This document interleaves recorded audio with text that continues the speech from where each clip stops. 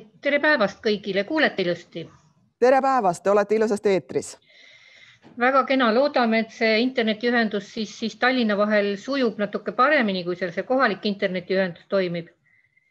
ja räägin tõesti sellest eh, loome ja kultuuri problemaatikast majanduse võtmes ja, ja, ja teie to toredad töötajad abistavad mind slaidide vahetamisel, võtakski esimese slaidi kohe ette sealt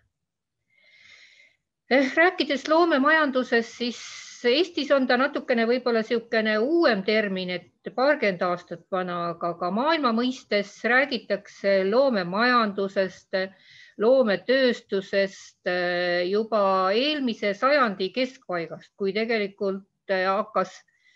tekkima fenomen, et kultuuriinimeste loomingut sai hakata tiražeerima, seda sai hakata turul müüma sellele tekkis kindel turg, tekkis nõudlus, hakkasid eh, kultuuri, kultuuriga seoses kehtima ka sellised majandusreeglid. ja kui me alustasime loomemajanduse problemaatika analüüsiga Eestis, siis tegelikult eh, võin öelda küll oma, oma mälestustes, et kuskil kakskümmend, kakskümmend viis aastat tagasi, eks see algus oli päris konarlik, sest harjutud oli tõesti vaatama, et, et kultuuriinimesed tegelevad loominguga, tegelevad väga selliste teistmoodi asjadega, et, et miks räägitakse mingitest töökohtadest, miks räägitakse mingist tulust, käibest, kasumist. ja peab ütlema, et selle aja jooksul, mis nüüd on möödunud, on küll pilt täiesti muutunud, et kultuuriettevõtted on äh, väga sarnased, äh, loomemajandusettevõtted väga sarnased teiste sektorite ettevõtetega ja, ja teadlikkus sellisest majandusmehhanismidest, ärimudelitest, turundusest, see kõik on väga palju kasvanud. ja muidugi on kaasa aidanud see, et Eestis on ju ja maailmas on ju päris palju tugimeetmeid ähm, ettevõtetele, majandussektoritele. ja kui kultuuriinimesed tahavad ähm, olla riigile või omavalitsusele võrdväärne partner ja neist äh, tugimeetmetest osa saada siis peab ju olema ka nende enda selline raamatupidamine, aruandlus, äri, äriloogika, kõik korras ja, ja, ja ka nende partneritel arusaadav. hästi oluline muidugi on see, et kogu maailmas tegelikult ju selline meelelahutustööstus, kultuuritööstus, see selle tarbimine on aina kasvanud, isegi kohati öeldakse, et inimene on näiteks seal nõus eh, järgi andma võib-olla mingite kaupade, toidukaupade ostmisel, tööstuskaupade ostmisel, aga inimene ei ole nõus loobuma ei oma Facebookist, ei ole nõus loobuma mingist oma filmide vaatamisest, et see on inimestele saanud hästi oluliseks. Aga samas eh, nii nagu ka praegune kriis näitab, et loomemajandussektor on selline sektor, mis tegelikult võib väga kiiresti kasvada. ja, ja temas, temas võivad ka väga suured probleemid väga kiiresti tekkida, sest kui, kui on rasked ajad, siis kust kokku hoida, see on selge, et inimene kipub siis kokku hoidma just sellise ähm, meelelahutuse ja selliste valdkonnas, mis ei ole nagu eluliselt oluline, nii et sektor on väga volatiilne, nii et seda peab teadma ja, ja arvestama. minnes nüüd järgmise slaidi juurde siis eh, kindlasti loomemajandusettevõtted on väga mitmekesised, et, et me peame aru saama, et, et see sektor iseenesest on, on seinast seina.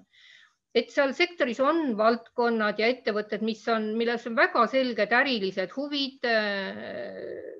on eesmärgiks kasum, on eesmärgiks eh, suurem müügitulu. noh, toome näiteks näiteks reklaamifirmad, arhitektuurifirmad siis kindlasti on seal selliseid ettevõtteid, kelle mm, funktsioon ongi nagu suurendada võib-olla riigi tuntust, suurendada teiste ettevõtete tulu, no ütleme näiteks disainifirmad ähm,, igasugused kult, äh, ürituste korraldajad, äh, teatrid, nad kindlasti suurendavad antud regiooni turismitulu sest eh, kui inimene läheb turistina kuhugi, siis ta tahab ka minna muuseumisse, ta tahab minna kontserdile. Need on need nagu, nagu tõmbefaktorid regioonides. kindlasti mitmel valdkonnal siin loomemajanduses on, on põhieesmärk hoida seda Eesti kultuuri ja, ja säilitada seda meie järgmistele põlvkondadele, no muuseumid, raamatukogud loomemajandusel on hästi oluline ettevõtetel funktsioon luua antud regioonis paremat elukeskkonda. Praegult, kui me vaatame neid päris mitmeid uusi linnakeskkondi, mis on Eesti sada raames tekkinud, siis need ju kindlasti annavad väikelinnadele sellist teist hingamist ja teistmoodi vaadet ja ja kui inimesel on, on mõnus elada oma regioonis ja see linnakeskkond on, on tema jaoks hea, siis ta ka ei lahku sellest regioonist nii kergesti. E, kindlasti on osa Eesti loomemajandusettevõtete üks suur funktsioon on tutvustada Eestist, Eestit üldse välismaal. Et, et mis riik see on, see on ju seotud siis kogu selle muu majandussektoriga, sest ka kõigil teistel reaalsektori ettevõtetel on, on lihtsam minna eksportima, kui teatakse, et mis, mis riigiga on tegemist, noh, hakkame nimetama, et mingi Eesti eh, filmi head näited, eh, muusika head näited, üks väga hea kontsert, Arvo Pärdi kontsert, eks võib võib äh, kuskil Brüsselis või, või Münchenis tuua väga suurt tuntust ja, ja, ja head kuvandit antud riigile. ja muidugi on ka loomemajandusettevõtteid, kes ei olegi endale seadnud eesmärgiks mingisugust sellist majanduslikku väljundit, kes lihtsalt teevadki seda kõike oma loomisrõõmust väikeses mahus ja, ja ka see on ju väga-väga-väga kena. Et loomemajandusettevõtteid võib jagada ka tegelikult äh, selle järgi, et kuidas nad teenivad siis tulu, et ähm, jah, on väga mitmed valdkonnad, kes siis põhiosa oma,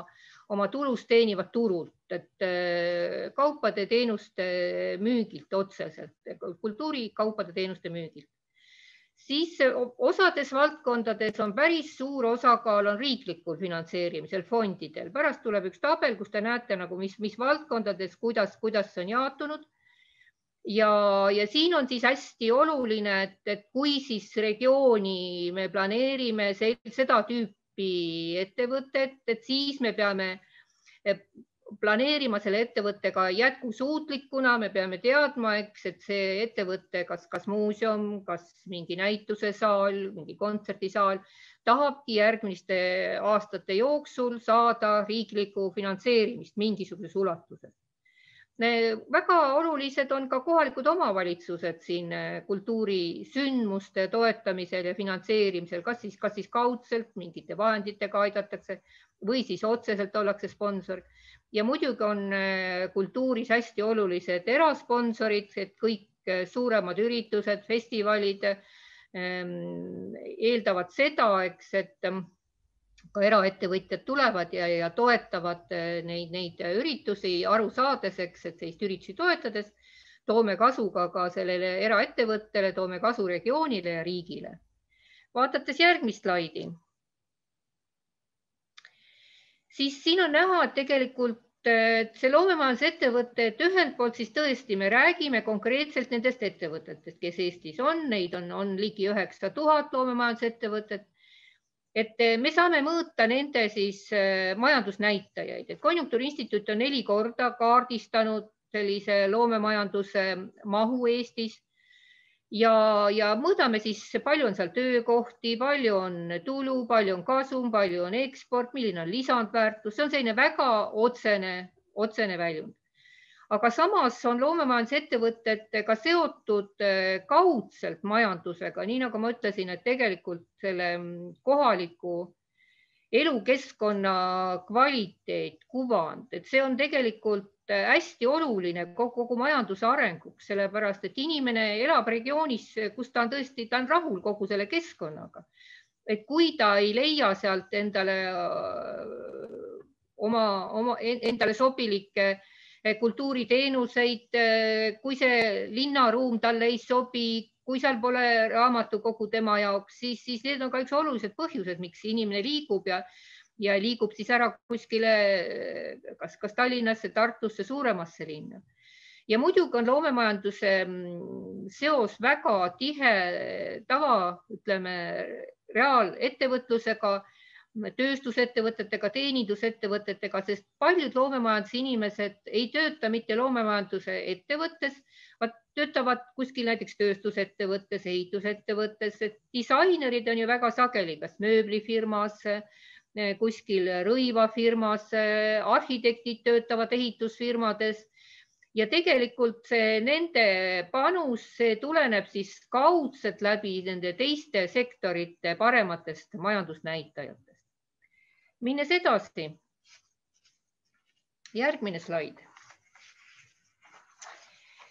siis äh, jah, kui me vaatame siis äh, rahvusvahelise äh, konkurentsiuuringute alusel, et mis on siis Eesti majanduse probleemid siis äh, üks suur probleem on see, et Eestis äh, tehtavate toodete ja, ja teenuste lisandväärtus on, on äh, väiksem kui, kui kõrgemalt arenenud riikides. et me väga sageli oleme toorme eksportija, me viime välja piima, toorpiima, me viime välja palki, me viime välja lihtsalt mingit turvast ja, ja me ei suuda sellest teha sellise kõrgema lisandväärtusega toodet, kus siis tegelikult lisanduks selline äh, arenduse aspekt, kus saaksid teadlased panustada ja kus saaksid siis loomeinimesed panustada. siin me räägime siis, et Eestis võiks olla see ahel tunduvalt pikem, eks, et meil peaks olema siin ka see disaini pool turunduse pool võiks Eestis olla, et sageli me kipume olema natukene sellised nagu vanapagana tüüpi, et me teeme väga palju rasket tööd odava raha eest. aga, aga need ähm, suurema tüki ja, ja, ja, ja kasumi sellest tootest siis pärast turgudel lõikavad juba, juba teised riigid, kus selline Äh, disaini pool ja turunduse pool on, on paremini välja arenenud, nii et, et, et Eesti eesmärk peab olema see, eks, et me regioonides, kui me midagi toodame, siis me püüame ka seda toodet niivõrd arendada selles ahelas, eks, et teda saaks müüa ka äh, lõpptarbijale, et, et tema hind oleks kõrgem ja kui hind on kõrgem, siis on meie palk kõrgem selle asja pealt, et see on väga-väga lihtne loogika siis heidetakse veel ette Eesti riigile, ettevõtjad ütlevad ka, et eks eksporditurgudele minna ei ole lihtne, et sageli Eestit ei tunta välismaal, et, et noh, me oleme endine niisugune väike Ida-Euroopa riik, et, et noh, kus me üldse asume, mis me üldse teeme. nii et tegelikult siin on selline kultuuri eksport ja, ja kultuuri olulisus hästi suur siis üks probleem on Eesti jaoks see, eks, et Eesti haridussüsteem on tegelikult hea, et me igastahes PISA testides eh, ju, ju oleme näinud, et Eesti, Eesti lapsed võidavad väga-väga kõrgeid kohti. ja samas, ehm, kui me vaatame, et mis, mis on Eesti probleemid, siis meie üks suur probleem on see, eks, et meil ei jätku talendikat ja kvalifitseeritud tööjõudu meie enda noored kipuvad Eestist ära minema, ajude väljavool ja ka väljaspoolt, ega ei ole nii lihtne Eestisse inimesi leida, no eks Ida-Virumaa võib ju, ju ka siin väga hästi kaasa rääkida, eks, et kui, kui lihtne on leida sinna regiooni välismaalt häid talendikaid spetsialiste. aga kui, kui tuleb välismaalt selline väli, välisspetsialist riiki, siis tema eeldab, et tõesti niisugust mõnusat elukeskkonda, see noor inimene, ta ei arva, et ta peaks ainult käima seal kaheksa tundi tööl ja ülejäänud aja kuskil korteris istuma, ta tõesti eeldab, eks, et tal on ka vabal ajal kuhugi minna, et see regioon on turvaline, et, et, et seal on tal mingite hobidega tegeleda ja, ja et see keskkond on mõnus. nii et eh, kokkuvõttes Eesti elukvaliteet võiks olla parem, kui me tahame, et meie majandus areneks ja selleks saab nagu loomemajandus päris palju kaasa aidata mis, mis siis võiks järgmise slaidi pealt vaadata, need valdkonnad, kuhu nad saaksid panustada? et Eestit saab tutvustada läbi kultuuri välismaal, mida me ka kogu aeg teeme, aga, aga mida võiks teha veel rohkem ja, ja, ja, ja, ja veel ütleme andekamalt ja, ja, ja, ja efektiivsemalt, et siin saavad ju kaasa aidata muusikavaldkond, filmivaldkond, kunstivaldkond ja nii edasi et ma olen jätnud siia kolm täppi, et siin tõesti, et need valdkonnad, mis saavad panustada, on väga palju. E, Eesti tooteid saab teistel turgudel palju-palju paremini tutvustada eksporditurgudel ja siin on reklaami valdkonnal väga, väga palju teha. siis disaini valdkond, seda kuidagi ei saa alahinnata, et disain on võrdväärne teadus, teadustööga ja, ja tootearendusega, mida tehakse ettevõtetes, eks, et et ammu on nagu mööda need, möödas need ajad, eks, et me mõtleme, et me teeme mingi toote valmis ja, ja ta läheb turule, kui me ei ole sinna kaasanud algusest peale disainerid, kes, kes vaatavad kogu seda mugavust, funktsionaalsust, eh, tarbijale kasutamissõbralikku väljanägemist ja nii edasi, et ka see on, see on väga oluline kõigis ettevõtetes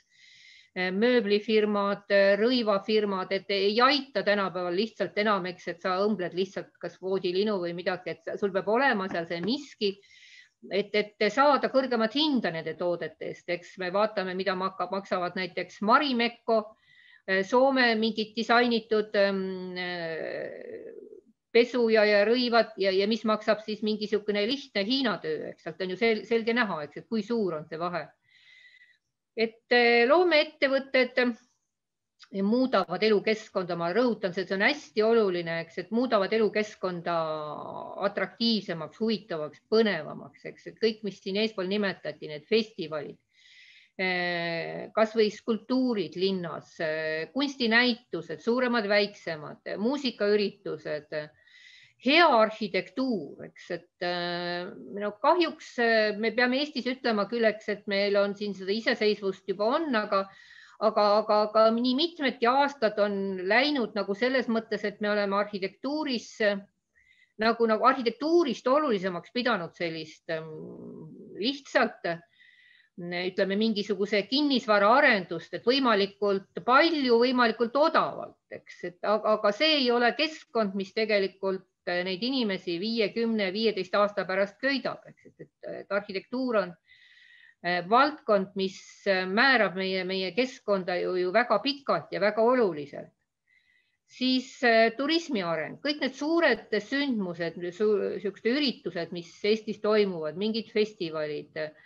Ehm, noh, nimetame siit Viljandi folgi või, või Saaremaa ooperipäevad või, või kasvõi ütleme kui ka noh, sport ei ole päris loomemajanduseks, aga spordiüritused, suured üritused, regioonid, energiajooks, mis oli Narvas, Rakveres, ööjooksud, et nad kõik tegelikult toetavad turismi, toovad töökohti äh, hotellidele ja, ja, ja toitlustusettevõtetele ja nii edasi. et üks oluline valdkond kindlasti, mida loomemajanduse teeb, et ta toetab noorte haridust sest eh, haridus ei ole ainult reaalained, eks eh, kogu see mm, filmipärand, kunst, eh, muusika, see aitab nii ütleme kaudselt noort last aju arendada koolis läbi, läbi nende tundide ja, ja, ja ka edasi noore inimese areng, eks, et kui me vajame, et noortel mitte ainult ei ole niisugused teadmised, vaat on ka korralik emotsionaalne intelligentsus, millest noh, tõesti mul on tunne, et me tänapäeval noh, peame sellest, sellest rohkem rääkima, et inimesed tunnetaksid teiste inimeste probleemi, nad saaksid aru, kus, kus on mured, murekohad. see on eriti hea praegu võib-olla rääkida praeguse pandeemia tingimustes, et miks osa inimesi ja ka noori ei, ei saa aru, kui ohtlik on olukord, eks, et nende käitumine mõjutab tegelikult vanade inimeste saatust ja, ja elu ja surma küsimust, et seda saab tegelikult ka väga palju läbi, läbi kultuuri arendada noorte sellist koostööd ja empaatiavõimet. ja muidugi valdkonnad, mis on hästi olulised, ringhääling, raamatukogud. jälle tuleme praegusesse olukorda pandeemia tingimustes, eks on äh, või, või üldse sellise riisi, eh, kriisijuhtimise tingimus või üldse riigi eduka juhtimise tingimustes on need, on need valdkonnad hästi olulised ja seda tööd, mis teeb näiteks Rahvusringhääling inimeste eh, teadlikkuse parandamisel ja, ja normaalse info nendegi viimisel, seda ei saa ju kuidagi, kuidagi nagu alahinnata. minnes järgmise slaidi juurde, siis eh, näeme et mis on need valdkonnad, mis seni tegelikult ütleme, on haaratud Eestis olnud siia loomemajanduse alla. see peab kohe ütlema, on mõnes mõttes iga riigi äh, selline mm, kokkuleppe küsimus, otsustamise küsimus, et ei ole maailmas sellist äh, ühtset harmoniseeritud süsteemi, et vot need on ainult nüüd loomemajanduse valdkonnad. igal riigil on natukene mingisuguseid eripärasid. ja mm, kui vaatame näiteks äh, siin Põhjamaid, siis mõne, mõnes riigis on näiteks äh, siia alla haaratud ka igasugused sellised teemapargid, eh, noh, meil võiks ka näite tuua näiteks Lottemaa, mis on tegelikult vägagi kultuuriga seotud. siis vaatame näiteks Belgia poole, siis Belgias on näiteks äh, haaratud loomemajanduse alla ka, ka äh,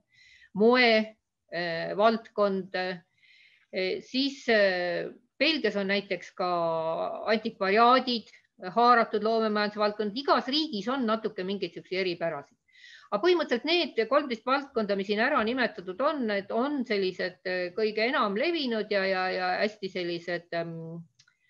jah, üldtuntud loomemajanduse valdkonnad ja, ja mis on selle loomemajanduse eripära, et võiks ju öeldakse, et no mis see siis on, eks, et võtame statistika ette ja ütleme täpselt, et palju meil neid ettevõtteid ja asju on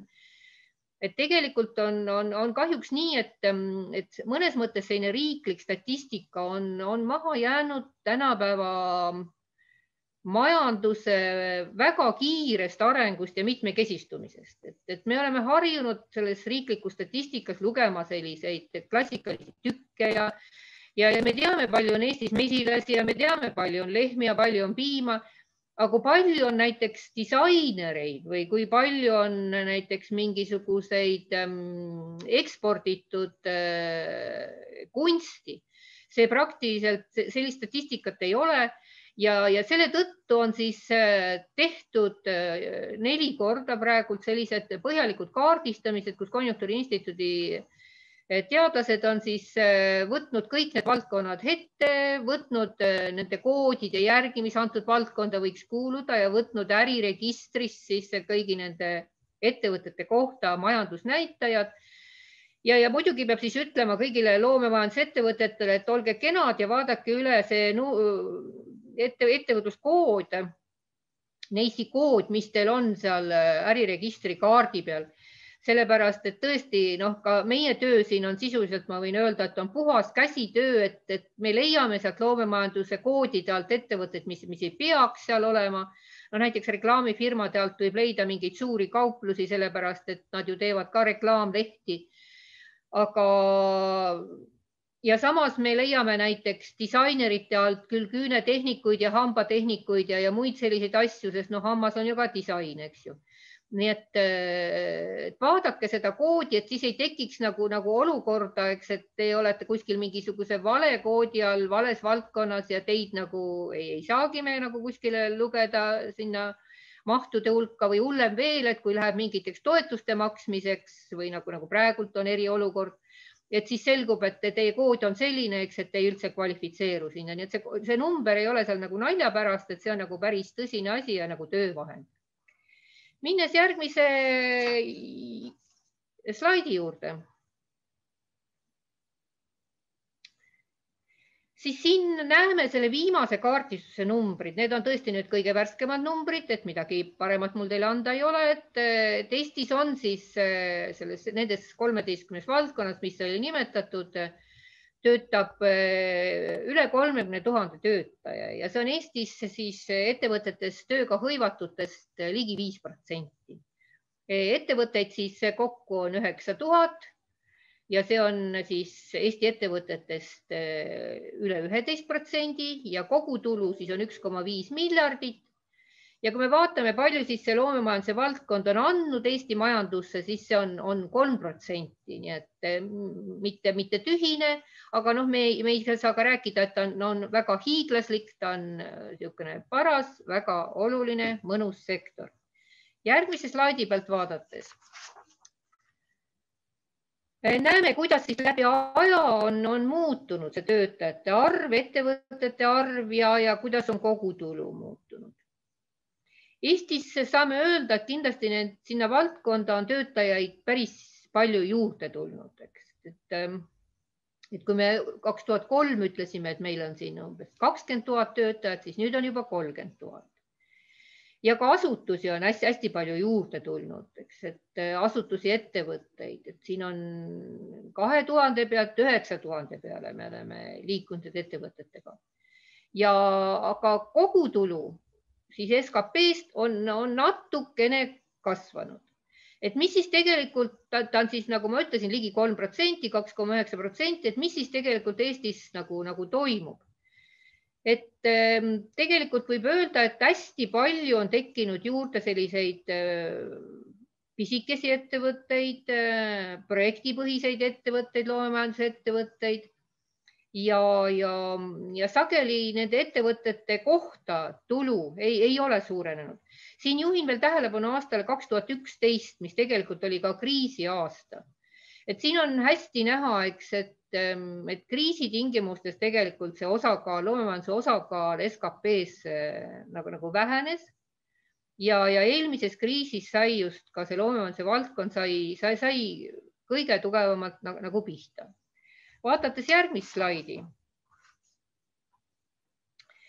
siis siin on kinnitus siis sellele, mis ma ütlesin, eks, et, et, ehm, et ettevõtteid on juurde tulnud, töötajaid on juurde tulnud,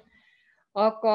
tulu ettevõtte kohta on tegelikult ajas vähenenud, et meil ettevõtted ei ole läinud suuremaks, tugevamaks, et ettevõtted on läinud nagu väiksemaks.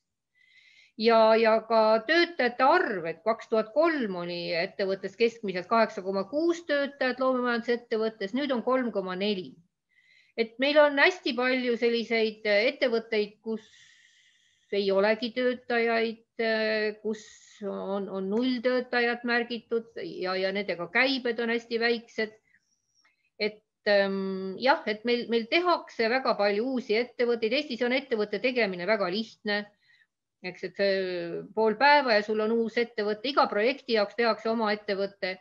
et kas see väga mõistlik on, noh, majandusinimesena ma ütleks, et, et, et võib-olla mitte et tegelikult, et, et mida eeldavad koostööpartnerid, kui nad ettevõttega koostööd teevad, nad eeldavad ettevõttelt mingit minevikku natukene. Nad eeldavad, et on võimalik vaadata tema finantsseisu, tema majandusaasta aruannet, et, et, et, et kuidas on tema finantssuutlikkus, kui mingid probleemid ette tulevad, eks, et kui me teeme iga projekti jaoks ühe, ühe uue ettevõtte, siis tegelikult jah, me maandame selliseid, neid riske enda jaoks, eks, et et ebaõnnestub, siis lasen selle projekti pankrotti ja läheb allavetteks, aga ka partnerite jaoks me tegelikult suurendame sellega riski. ja pluss veel see, eks, et kahjuks, kui me räägime, et ettevõtted, et, et me tahame kasvada, me tahame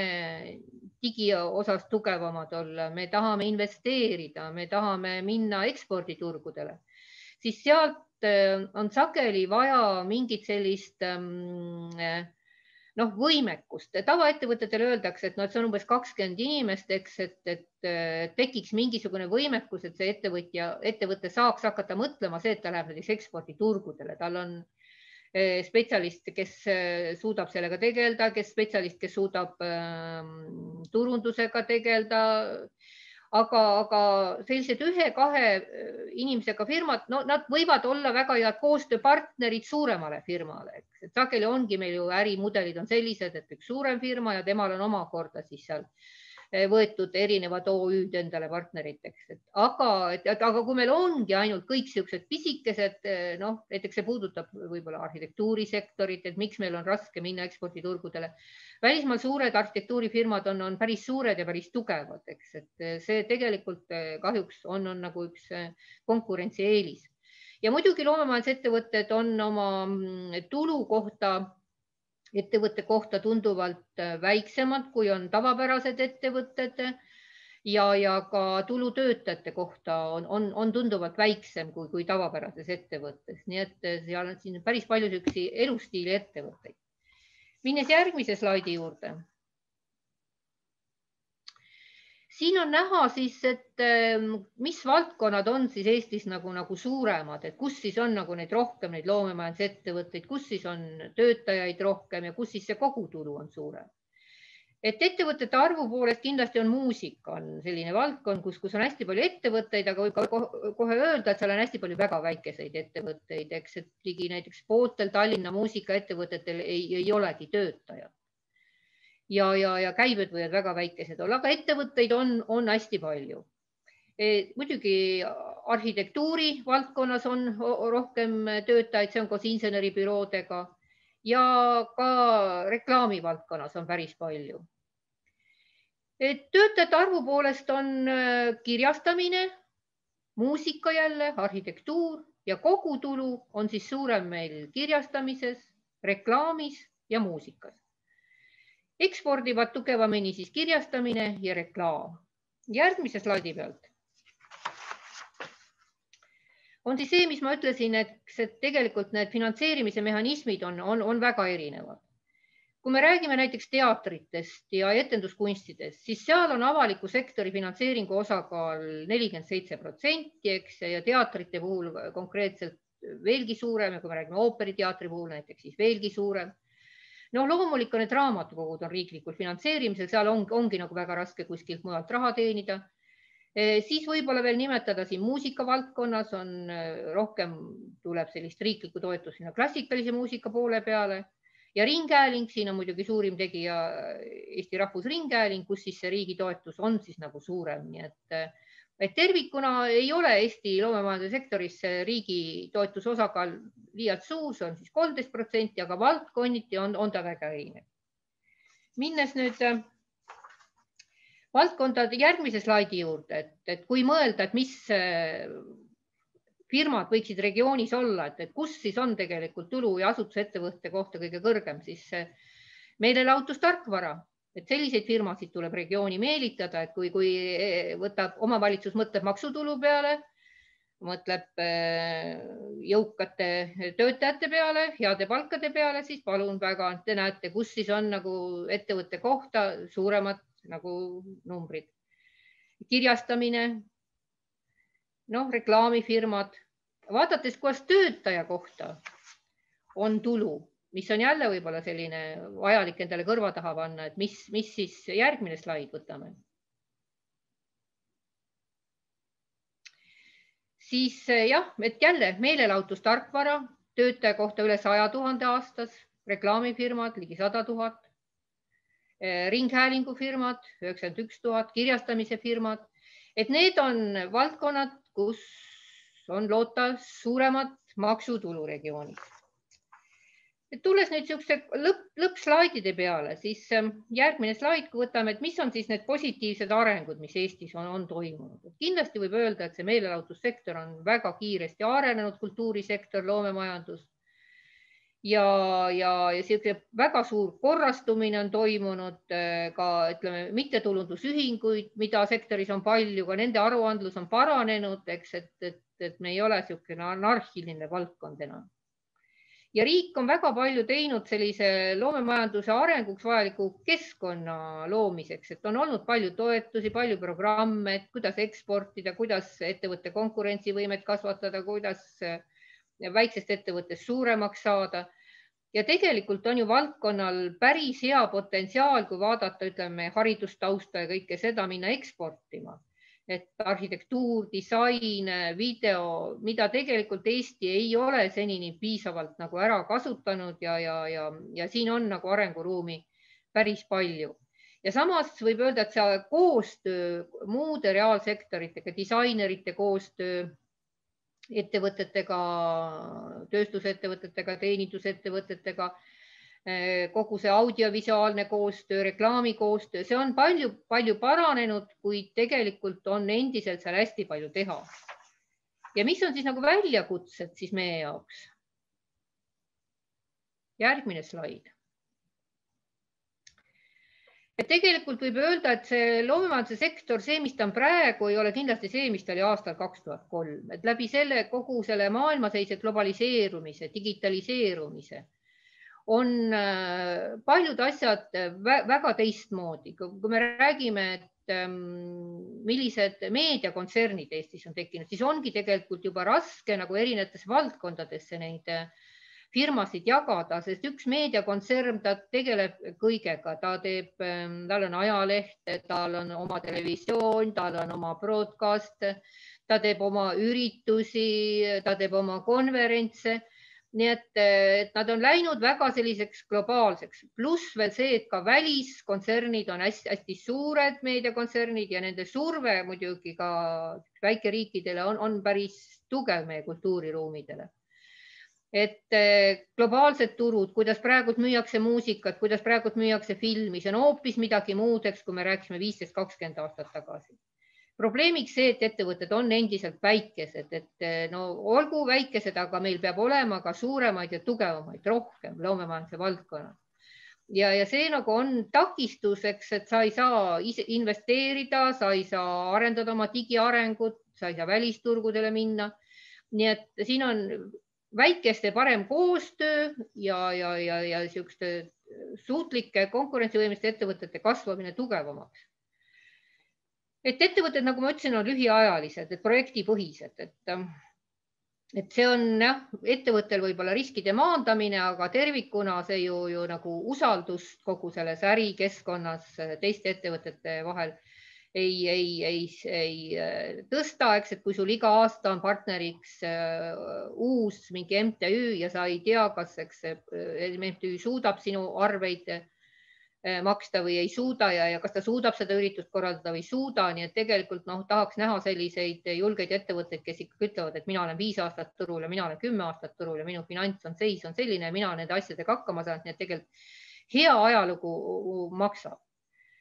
ja no Eestis on tõesti päris palju arenduskeskusi loomemajanduses, tahaks näha, eks, et arenduskeskustes mm, tekiks rohkem sellist mm, tegevust, mis tuleneks nendest sektoritest endist, et näeks, eks, et, et sektor on nõus rohkem sinna ka panustama, finantseerima. et, äh, et need arenduskeskused ei oleks ainult riigi üleval peetavad, et neil, et neil oleks nõudlus ka sektori enda poolt, et siis, siis see koostöö ja, ja, ja tulemus on, on alati parem ja lõpuks siis muidugi põhiküsimus, mis ka omavalitsusi peab väga teenima, et, et et kuidas siis ikkagi lõpuks teenida seda maksutulu. et kui me arendame väga palju selliseid ettevõtteid, mis on mittetulundusühing, kus tegelikult ei olegi töötajaid, kus makse makstakse minimaalselt, kus on tegelikult erinevad äriskeemid, OÜ-tamine ja nii edasi, siis ühelt poolt küll meil on, on need ettevõtted ja meil on äh, inimesed, kes on endale, ütleme noh, töökoha kindlustanud, mis on väga positiivne aga teiselt poolt tekib küsimus, et kus, kus on maksutulu, et keegi peab üleval pidama ju, eks ju, ka, ka, ka kogu seda infrastruktuuri, haridust, meditsiini ja nii edasi nii et eks see kõik on vastastikune, eks, et kui me tahame, et meil on tugevad sotsiaalteenused, siis meil ka peavad olema ettevõtjad, kes, kes panustavad läbi maksudeks nende teenustesse raha kogumisega. noh, nüüd oli hea näide näiteks näha läbi Töötukassa, eks, et kriisitingimustes Töötukassast saavad ikkagi toetust need ettevõtted, et kes, kes sinna panustanud, eks, kui, kui sul ei olegi ühtegi töötajat, aga aga, aga tahad nagu kriisis abi saada, siis, siis, siis läheb nagu raskeks ja, ja lõppkokkuvõttes siis jah, et kui te tahate selle loomemajanduse kaardistamisega nagu, nagu põhjalikumalt tutvuda, siis selle te leiate viimasest slaidilt näete Konjunktuuriinstituudi koduleheküljel on see kaardistus täiesti olemas. ja, ja tutvuge ja,